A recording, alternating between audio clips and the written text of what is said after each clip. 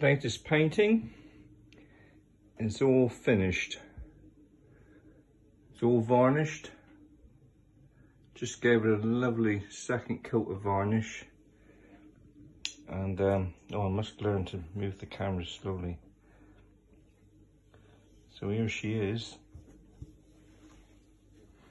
I've got it laying flat just so I could varnish the picture. And um, trying to, I can't get it all in while it's lying flat. But yes, finished painting.